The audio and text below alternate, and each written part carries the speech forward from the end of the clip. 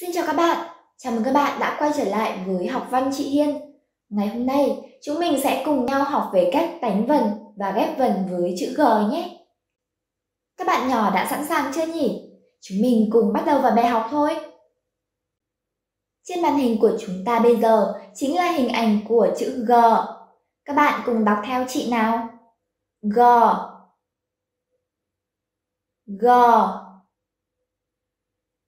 G Các bạn đã đọc đúng rồi đó. Vậy bây giờ chúng mình cùng nhau chuyển qua phần tập đánh vần và ghép vần nhé. Chị có chữ G, khi kết hợp với chữ A, chúng mình sẽ đánh vần là G A ga. G A ga. G A ga. Tiếp theo, chữ G khi ghép với chữ O sẽ được đánh vần là G O go. G O go. G O go. Chữ G khi ghép với chữ O, chúng mình sẽ đánh vần là G O go. G O go. G O go. Tiếp đến, chữ G khi ghép với chữ ơ sẽ được đánh vần như sau. G ơ g. G ơ g. G ơ g. Chữ G khi ghép với chữ U, chúng mình sẽ đánh vần là G U gu. G U gu. G U gu.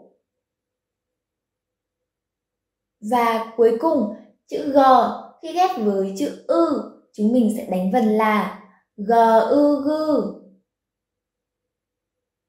G ư gư. G ư gư. Các bạn đã nắm được cách đánh vần và ghép vần với chữ G chưa? Hãy để lại bình luận để chị được biết nhé. Còn bây giờ, chúng mình sẽ tiếp tục đến với phần luyện tập nha. Hãy nhìn lên màn hình và cùng đọc theo chị, theo thứ tự từ trên xuống dưới, từ trái qua phải nhé. Chúng ta cùng bắt đầu thôi nào. G A ga G A ga huyền gà G A ga sắc gá. G A ga hỏi gả G A ga nặng gạ. G O go G O go huyền gò. G O go sắc gó. G O go hỏi gỏ G O go ngã gõ. G O go nặng gọ G O go G O go huyền gồ. G O go sắc gỗ, G O go hỏi gỗ. G O go ngã gỗ.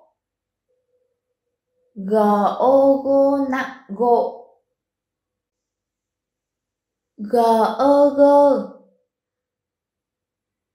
G ơ gơ huyền G. G ơ gơ sắc gớ G ơ gơ hỏi gỡ G ơ gơ ngã gỡ G ơ gơ nặng gọ G u gu G u gu huyền gù G u gu sắc gú G u gu hỏi gủ G u gu ngã gũ G u gu nặng gụ g ư gư. G ư gư huyền gừ g ư gư sắc cứ. G ư gư hỏi gử g ư gư ngã cữ. G ư gư nặng gự Bài học ngày hôm nay của chúng mình đến đây là kết thúc rồi.